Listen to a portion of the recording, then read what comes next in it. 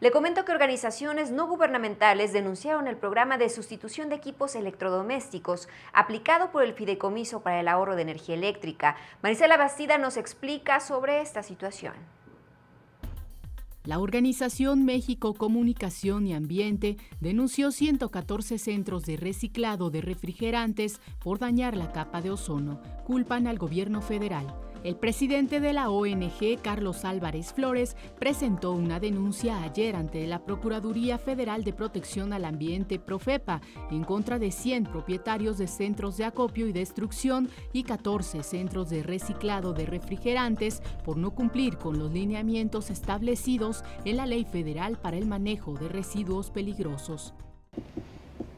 Que sean sancionados porque ellos ya tienen algunos años de estar operando o sea, ellos ya ganaron dinero y no están manejando adecuadamente estas sustancias peligrosas.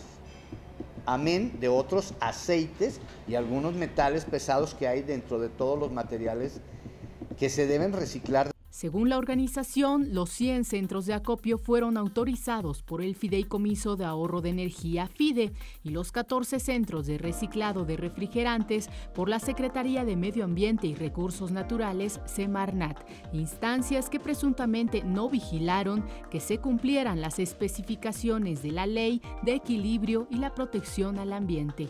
Insisten en que hasta la fecha la cifra de refrigeradores recolectados asciende a más de un millón, toda vez que fue hace cuatro años cuando inició el programa para el ahorro de energía eléctrica. La exigencia de los inconformes es que la Profepa clausure los centros de reciclado y que la PGR investigue el asunto. Para Green TV, Marisela Bastida.